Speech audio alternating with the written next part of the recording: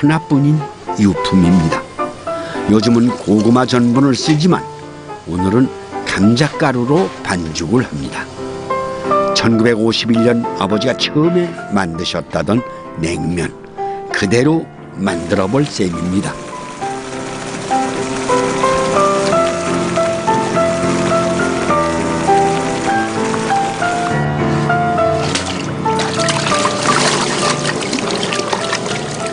농마국수는 얇고 투명한 색이 나야 진짜라고 하셨더랬죠.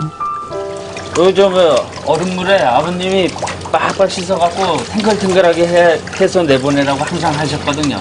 그래서 손바닥 불이 나게 씻습니다. 끈질긴 생명력을 가진 함경도 사람들을 닮았다는 질기디 질긴 농마 회국수. 비록 이름은 바뀌었지만 아직 살아 있습니다.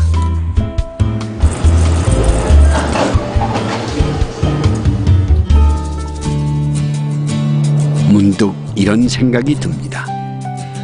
오늘 우리가 먹는 냉면은 어떤 냉면일까요? 100년 전 사람들을 사로잡았다는 그 평양냉면일까요? 시간에 따라 만물이 변하듯 냉면 또한 변한다는 것이 60년 냉면장인 김태훈 씨의 생각입니다.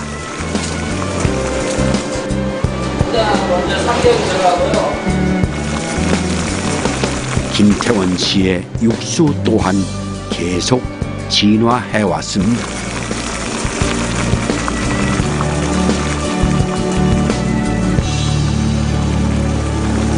옛날에는 꽁을 썼지만 지금 꽁이 구하기 힘들어서 어, 지금 닭을, 닭을 사용하고 있어요. 삼겹살, 소고기 여러 부위, 잡뼈, 장닭을 섞어 육수를 만듭니다. 면이 흔하디 흔해진 요즘 아무래도 냉면은 육수 맛이 가장 중요합니다.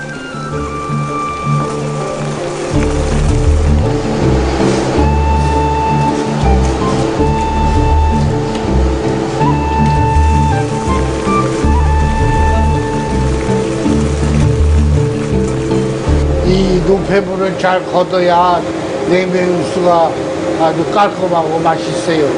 그렇기 때문에 이 더워도 여기서 땀 흘리면서 이 노폐물을 갖고 있는 거예요. 한 시간 이상 끓였다가 따라내고 다시 또 물을 부어 끓이기를 세 차례 이상 반복합니다. 고기에서 최대의 맛을 뽑기 위해서죠. 동치미가 빠지고 화학 조미료가 줄고 손님들의 입맛이 바뀌는 상황을 따라잡으려면 육수는 계속 더 진화돼야 한답니다.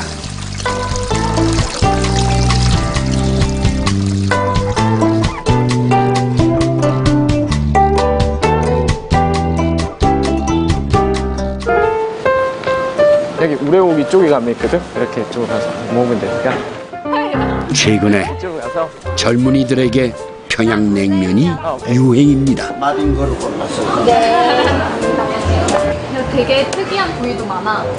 대긴갈비, 혀밑구이. 음식을 앞에 두고 젓가락보다 카메라를 먼저 집어드는 세대지요. 막 맛있달까요? 와 나 어제 점심 먹고 많이 안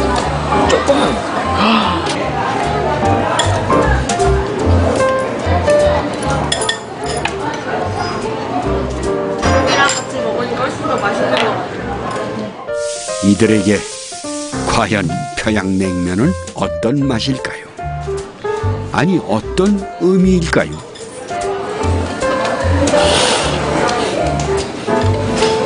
되게 투박하고 소박하고 그냥 할머니가 그냥 툭 하고 던져주신 냉면 맛 그런 것 같아요. 굉장히 어떻게 보면 슴슴하면서도 굉장히 매력이 없는 맛인데 그게 어느 순간 이게 자고 일하면 생각나는 그런 맛들이 있더라고요. 너무 맛있을 것 같아요. 어. 긴 면발처럼